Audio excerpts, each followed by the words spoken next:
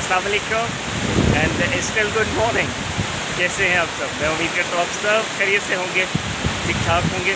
और इस वक्त अभी तक हम ट्रैवल कर रहे हैं और रास्ते में हैं जो पाक चाइना बॉर्डर की तरफ़ हम जा रहे हैं। और ये खूबसूरत से नज़ारे जो रास्ते में आ रहे हैं, मैं वो चाह रहा हूँ कि ज़रूर आपसे शेयर करूँ।